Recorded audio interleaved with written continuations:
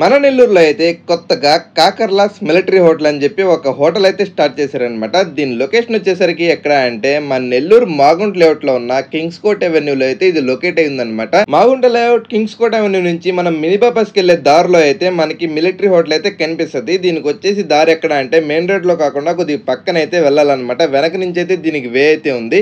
ఇదైతే ఫస్ట్ ఫ్లోర్లో లొకేట్ అయి ఆ బిల్డింగ్లో వచ్చేసి ఇంకా లోపలికి వెళ్ళి వెళ్ళంగానే ఫస్ట్ అయితే థీమ్ ఎలా అనిపించింది అంటే లోపలంతా కూడా వాళ్ళ మీద అయితే పెయింటింగ్స్ ఉన్నాయన్నమాట. మన సోల్జర్స్ అయితే కూర్చొని తింటున్నట్టు వడ్డించుకుంటున్నట్టు మంచి ఫీల్ అండ్ గుడ్ అంబియన్స్తో అయితే వాల్స్ అంతా కూడా వాళ్ళైతే పోస్టర్ లాగా వేస్తున్నారనమాట సిట్టింగ్ విషయానికి వస్తే కూడా బాగా పెద్దగానే ఉంది. ఫ్యామిలీతో కానీ ఫ్రెండ్స్తో కానీ వెళ్తే మాత్రం లంచ్ కానీ డిన్నర్ కానీ మంచి అంబియన్స్ అయితే కూర్చొని ఎంజాయ్ చేయొచ్చు. ఇంకా నేనైతే తిండి విషయానికి వచ్చేస్తే ఫస్ట్ అయితే కోడి రసం అని చెప్పి సూప్ అయితే తీసుకున్నాను అనమాట ఇది చూడడానికి అయితే పొగలగొక్కతా వచ్చింది.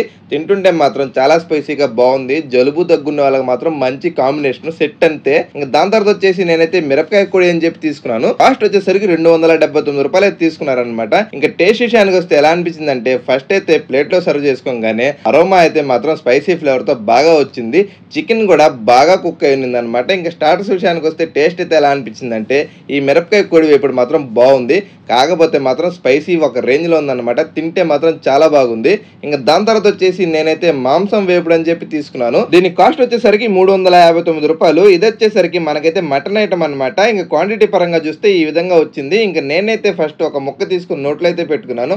టేస్ట్ అయితే మాత్రం సరిగ్గా ఉంది మటన్ పీస్ అయితే అలా నోట్లో పెట్టుకోగానే నాకైతే స్పైసీ ఫ్లేవర్తో టేస్ట్ అయితే బాగునింది పీస్ అయితే మాత్రం చాలా బాగా ఉడుకునింది. మెత్తగా అయితే ఉన్నింది అనమాట ఇంకా దాని తర్వాత వచ్చేసి నేనైతే నాన్ వెజ్ థాలీ అని చెప్పి తీసుకున్నాను. ఇందులో వచ్చేసి చికెన్ ఉంటుంది అదేవిధంగా ఫిష్ ఉంటుందంట. నేనైతే చికెన్ తిన్నా కదా అని చెప్పి ఫిష్ ఐటమ్ అయితే చెప్పుకున్నాను. ఫిష్ కర్రీతో వచ్చింది మనకైతే. వేడి వేడిగా తీసుకొచ్చి మనకైతే పొగలు కక్కి అన్నం అయితే ప్లేట్లో ఇచ్చారు. ఇంకా దాంట్లో వచ్చేసి పొడేశారనమాట వేడి వేడి పొడిలో అలా నెయ్యి వేసుకొని కలుపుకొని తింటుంటే ఉన్నింది చూడు టేస్ట్ అయితే మాత్రం సరిగ్గా ఉన్నింది అలా కలుపుతా ఉంటే అరోమా అయితే మాత్రం నోట్లో లాలాజర ఊరినట్టు అనిపించింది నాకైతే. లేట్ చేయకుండా అయితే నేను ఆ పొడి నెయ్యి ముద్ద అయితే ఒకటి తీసుకున్నాను అనమాట నోట్లోకి. టేస్ట్ అయితే మాత్రం కతక్కునుండింది ఇంకా నేనైతే వాళ్ళు ఇచ్చిన ఆ చికెన్తో అయితే నంచుకొని తిన్నాను అనమాట టేస్ట్ అయితే మాత్రం సరిగ్గునింది కాస్ట్ వచ్చేసరికి మూడు వందల ఎనభై తొమ్మిది రూపాయలు అయితే తీసుకున్నారు మనకైతే. ఇంకా దీంట్లో వచ్చేసి రైస్ అయితే అన్లిమిటెడ్. నేనైతే వాళ్ళు ఇచ్చిన పచ్చడితో కూడా కలుపుకొని తిన్నాను. ఏ మాటకి ఆ మాట కానీ పచ్చడి అయితే మాత్రం హైలైట్ అసలు. దాని తర్వాత వాళ్ళు ఇచ్చిన అన్ని ఐటమ్స్ అయితే ట్రై చేశాను అనమాట ఇంకా నేను వచ్చేసి లాస్ట్లో వాళ్ళు ఇచ్చిన ఫిష్ కర్రీతో అయితే తీసుకున్నాను. ఫిష్ కర్రీ అయితే మనకి ఒక ఫ్రై ఇచ్చారు. అదే విధంగా ఒకటైతే కర్రీ పీస్ ఇచ్చారనమాట ఇంకా నేనైతే ఆ ఎర్రగా కనిపించే కర్రీతో అలా కలుపుకొని అయితే తిన్నాను. చేపల కూర కూడా టేస్ట్ పరంగా అయితే బాగానే ఉంది. కలుపుకొని తింటా ఉంటే సమ్మగా నోట్లోకి అయితే వెళ్ళిపోయింది అనమాట ఇంకా దాని తర్వాత వచ్చేసి ఒక చికెన్ బిర్యానీ అయితే తీసుకున్నాను. రెండు వందల తొంభై తొమ్మిది రూపాయలు అయితే తీసుకున్నారు.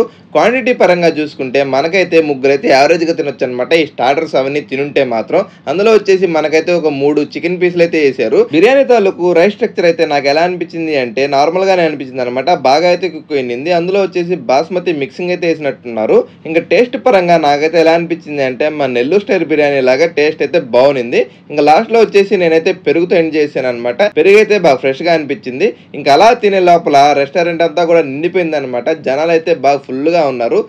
దానికైతే బాగా ఎక్కువగా థాలీలే తింటున్నారనమాట అక్కడైతే మాత్రం ఇంకా లాస్ట్లో వచ్చేసి నేను ఒక డెజర్ట్ అయితే ఎండ్ చేశాను.